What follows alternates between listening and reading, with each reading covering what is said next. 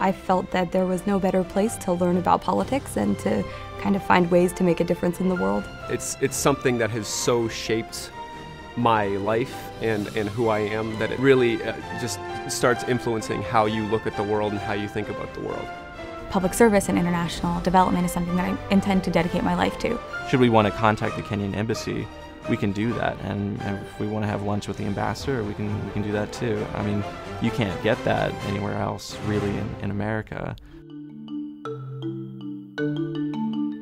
George Washington himself, when he imagined that there would be a, a strong world class university in the heart of the nation's capital, what he had in mind was a university that was going to contribute at the same level of great institutions of learning around the world.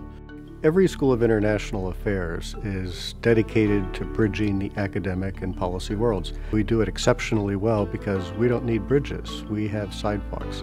Just around the campus is the International Monetary Fund, the World Bank, the U.S. State Department, the Fed, the White House. When you're here in D.C. and you can tell your students, okay, well, for today's session, we're going to go down the street and actually see how a program is being implemented.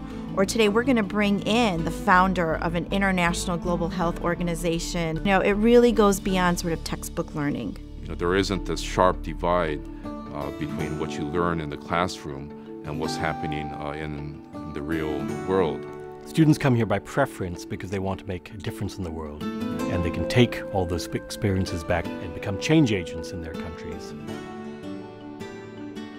I came to George Washington University to study education and international development. I want to go to school with people from all around the world and have international exposure. That's why I'm here to make a difference in my country. So I was a physical therapist in Ethiopia, working uh, with landmine children. I had to engage myself in the political work. Whatever it is, who are burning that landmines, we had to stop them. GW gave me the essential skills uh, and knowledge to talk to players in the international arena. I want to go back to Ethiopia. That's that's no question about that. And the reason I'm gonna going back is to make a difference. I wanted to come to some other countries to improve myself in a deeper way. This is a great environment for learning and it's very welcoming for international students. I feel like I grow a lot. Clearly, there are lots of international students here. You hear lots of languages spoken. There's an excitement, there's a, a, a buzz that is a very, very visible one and feels very, very exciting.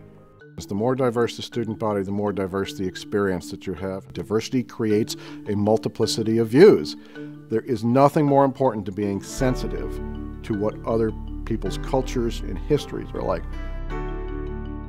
Some view our global issues as a problem. We view these as unsolved opportunities in using GW as a worldwide and lifelong community to inspire solutions and to create and lead.